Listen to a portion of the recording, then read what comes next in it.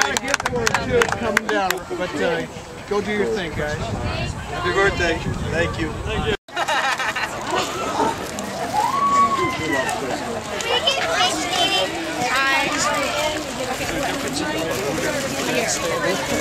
Yep. Okay.